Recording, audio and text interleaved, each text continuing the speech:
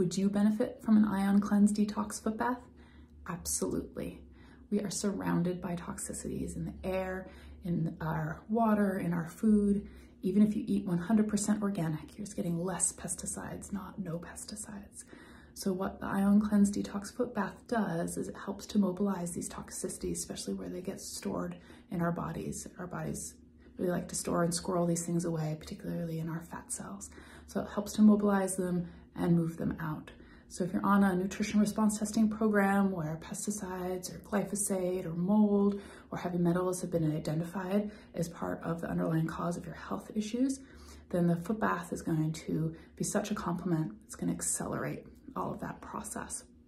But even if you're not on that kind of customized detox um, program, the foot bath is absolutely going to benefit you because we see these types of toxicities um, as being one of the main reasons why people suffer from ill health.